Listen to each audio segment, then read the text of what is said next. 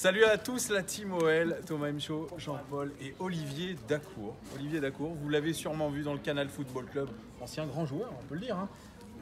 Inter Milan, c'est pas mal même. Pas de fausse modestie. pas de- Ça, ça va, ouais. Alors, auteur aussi d'un documentaire sur le racisme qui est passé sur Canal+, qui était une- un véritable plébiscite. hein. Très très beau reportage et qui passe dans le cadre du Festival Lumière. Ça, ça va être diffusé quand?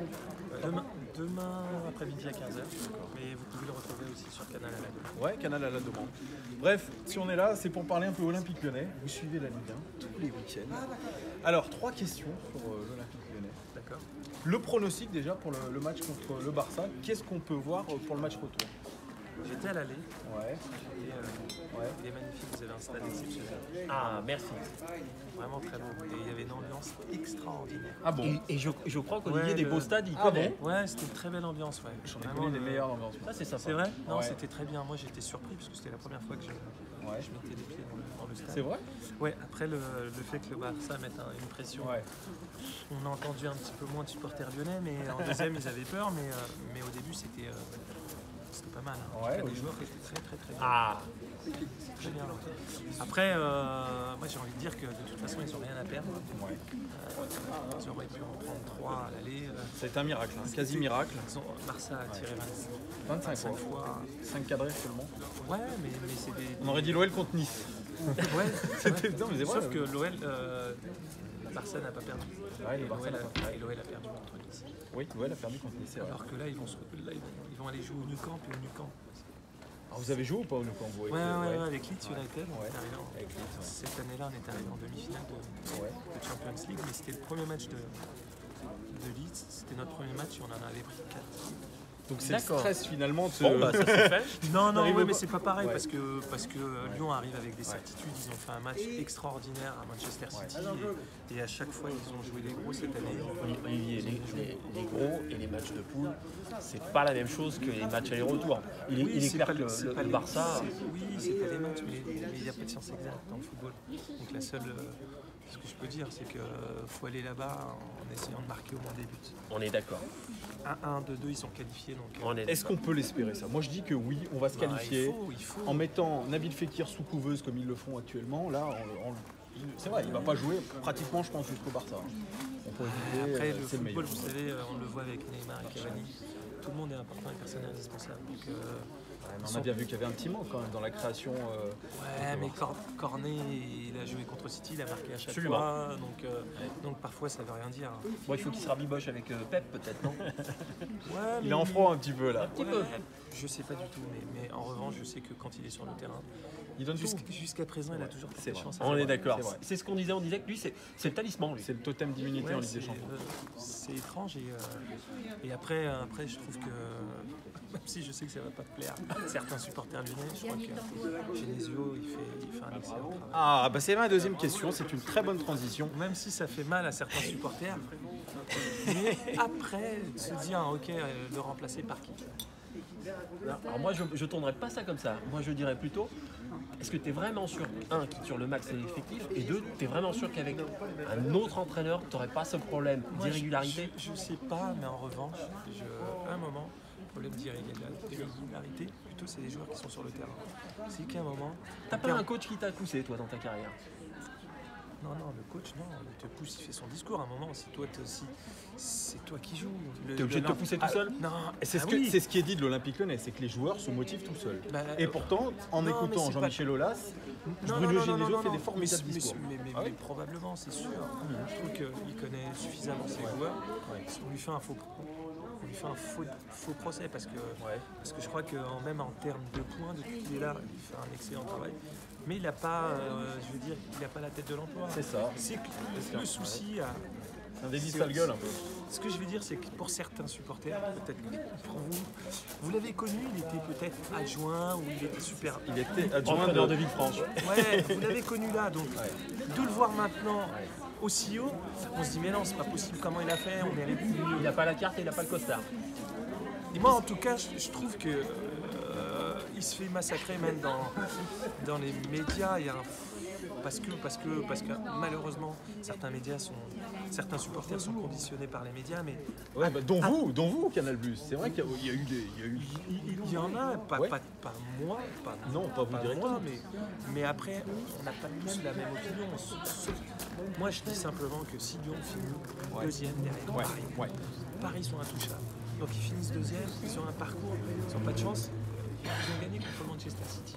Et ils vont loin en Coupe de France. Ils gagnent contre Caen. Ils vont loin en Coupe de France. Olivier. Imaginez une finale euh, PSG-Lyon. Olivier. Olivier. T'es- pas sérieux? T'es pas sérieux? Tu, tu crois, pas- tu crois pas que l'équipe qui, dev- qui devrait mordre les chevilles de.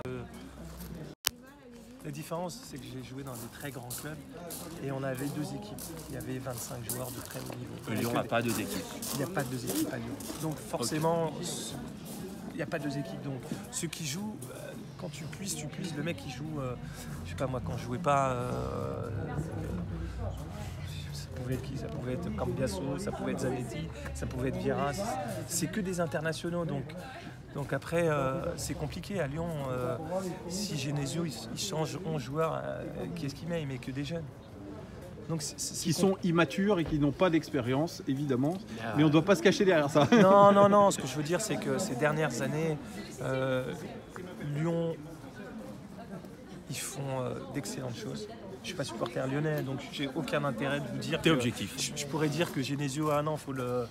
Mais par rapport à, à ce qu'il a fait depuis que lui, il est à la tête de l'OL, bah, il a fait des belles choses. Point. Parce qu'en Ligue des Champions, Paris nous ont pas fait rêver comme l'OL nous a fait rêver. C'est vrai. En Ligue des Champions. C'est vrai. Donc, Mais moi, je, Manchester- mais moi, je- contre Manchester City, ce qu'ils ont fait, c'est extraordinaire. On Ouais, n'a pas vu le meilleur Manchester City, toi qui as, joué en Angleterre, etc. de dire ça. On n'a pas vu le, le Manchester Arrêtez, City. vous êtes dur. non. Manchester Oui, on est dur. City, Tu sais, êtes mais très tu, dur. mais tu sais pourquoi on est dur? Pourquoi? Peut-être parce qu'on a été habitué un peu à mieux quand même aussi. Dans les années ça 2000, on a été biberonné à des, À à des quoi? choses extraordinaires. On- on a- les- on a- on on a a vu Gérard. Roulier, c'est lui qui avait la meilleure équipe de l'Olympique lyonnais, Oui, j'avais connu. mais, mais, Au niveau du talent, au niveau alors de la- du dire potentiel. Marseille alors? On va parler encore de 93. Les gens parlent du passé, ils profitent pas de l'instant présent. On parle du futur. Là, profitez. L'OL, ils sont, ils jouent contre contre le Barça en huitième, en c'est huitième de finale de Ligue des Champions. C'est excellent. Profitons. Et après, on fera le vous ferez le jugement de. de- Le jugement, voilà. Parce, Ah ouais, parce mais que- ça, ça- ouais, ça- c'est ça vrai, va être ça, vrai, ça on va être ça, faire parce que euh, euh, les, les- les objectifs ils sont fixés par, euh, par le président et le président il fixe des objectifs très clairs. Qualif, pas qualif, euh, passage, êtes- passage en huitième, pas passage en huitième. euh. C'est pour ça que parfois on est là à parler, tout le monde parle. Le football, il n'y a pas de science exacte. Il gagne la finale de la Coupe de France. Hmm Vous virez Genesio? Euh, alors je vais te poser le problème dans l'autre sens. Il gagne la finale de la Coupe de France, Ouais. et, il, euh, il finit quatrième de, de Ligue 1, tu fais quoi? Ah ouais, L'objectif n'est pas rempli. L'objectif n'est pas rempli. Donc, ok. Et Ah, merci. Mais, mais, mais à partir du moment où il y a des objectifs, ils ne sont pas remplis. Il n'y a, pas de pro- il y a pas de problème. Là, T'es là il y aura t'es des quand, même- quand conscient qu'il y avait des supporters la saison dernière qui, qui en étaient quand même à souhaiter qui ne se qualifient pas en Ligue des Champions simplement pour qu'on change de coach. Mais c'est pas des vrais supporters, ça. T'es sûr? Ouais, c'est pas des vrais supporters. C'est pas des T'as vrais. pas l'impression qu'il est, que c'était la saison de trop là? Non, non, parce que parce que y a pas de. Trois ans, on question- sait que Mourinho, deux ans, c'est fini. J'ai à chaque fois. eu, Mais- Alors oui, tu l'as eu, Mourinho. Je l'ai eu, Mourinho. En 2010, Je l'ai eu de 2000, euh, 2008 à 2010. est-ce que ça sera un bon entraîneur pour l'OL Arrêtez, vous êtes- mais vous êtes malade. Laissez euh, Bruno Genesio à l'OL et parce qu'en fait Mourinho, euh, il y a plein de choses que vous aurez pu vous supporter. Alors arrêtez de, de commencer à souhaiter du Mourinho. ah, J'ai euh, pas souhaité du Mourinho ah moi. ouais, non, non. Genesio, il est bien. Comment Genesio plutôt que Mourinho, voilà. mois. Mais non, c'est pas possible. Vous êtes- possible. Le club déjà n'est pas n'est pas pour Mourinho. c'est- Il a gagné déjà. Il- Il est Non, non il- apparemment, il, il serait prêt à réduire un peu la, la voilure si c'était Ouais. un club Sauf qui avait l'ambition. Sauf, qu'il a, il a perdu le mojo. euh. Donc, si en fait il n'y a plus aucun club anglais qui ne le veulent plus, c'est nous les clubs les clubs français qui vont le récupérer. c'est la- ouais. Bon, bah voilà, ça, vient de tomber. Est-ce qu'il Comment faudrait pas Pour Non, ça vient de tomber, au moins c'est clair. C'est que c'est c'est un signe. Ah non, je sais pas, moi je, je- je Tu trouve te, fais, que tu te fais virer de la première ligue. euh, après, après, en termes pour l'avoir eu, c'est extraordinaire. Pour l'avoir eu en termes Qu'est-ce de... qu'il a de particulier, euh, Ouais, Mourinho mais ça c'était il, y a- il y a 12 ans. Ouais. C'était il, y a- il y a 9 ans. Le- C'était un jeune entraîneur encore. Non, c'était il y a 9 ans. Donc après, il- ces dernières années, c'est plus compliqué. Mais, mais déjà, Ouais. il a de très grands joueurs. Ouais. à sa disposition, c'est toujours des très grands joueurs. Et l'OL, l'entraîneur qui doit arriver, qui va arriver à l'OL, il doit, il doit aussi prendre en compte qu'il y a les jeunes à faire venir en équipe première. Est-ce qu'il a l'habitude de faire ça Non. Oui, mais on peut pas les garder, les Ndombe, les, les Lacazette, les Tolisso. Mais c'est avoir une grande normal. équipe, Mais on peut normal. pas les garder parce mais, que c'est ça. mais parce que financièrement, ils peuvent pas. Mais guerre. est-ce Oui. que l'Olympique Et oui. lyonnais a son stade on aura- Et oui. Il Eh s'autofinancent. ben voilà. Donc ça veut dire qu'ils sont déjà en avance sur leur temps. Faut, faut les- ce qu'a fait Olas, Oui. c'est exceptionnel. Après, on aime, on n'aime pas. Mais ce qu'il fait pour son club. Mais bien sûr. Ici, t'en trouveras plus qui aiment plutôt qui Ouais, n'aiment pas. non, non. Mais Moi, je parle en règle en France. En France, il y a un- Les Lacazette, les Tolisso, Mais parce qu'on peut les pas les garder. Benzema. On peut pas les garder financièrement. Et donc on n'aura jamais Et- un grand club. et- Et oui, non, c'est ce déjà un grand, c'est un, club français. C'est déjà un grand club français. C'est un grand club français. déjà pas mal. Mais est-ce que C'est ironique. Non. Non, Paris. Paris. Oui. On parle de Paris, il y a Neymar, il y a l'argent, mais pour l'instant, il fait pas partie des, des- des- des- des- des- du, du- c'est pas le Barça, c'est pas Madrid, c'est pas la Juve, c'est-à-dire c'est pas Manchester, même s'ils éliminent Manchester, c'est-à-dire qu'il faut le l'institution, c'est quelque chose qui se construit avec au fil des années. On ne devient pas un grand club comme ça. Heureusement. C'est créé dans les années 50, l'OL s'est créé. C'est un, ça reste encore un petit club. Oui, c'est vrai. Je suis d'accord. Au niveau européen. Ce qui manque à à l'OL, c'est ce qu'on dit souvent, c'est une image de marque. Ah bah, mais l'image il y a de eu marque, des- tu l'as. vous l'avez- Olivier, d'accord, si, si je te dis que l'OL est un des clubs les plus détestés de, de France, tu- qu'est-ce que tu en penses c'est bon. Bah ouais, c'est probablement vrai. à cause de ses supporters.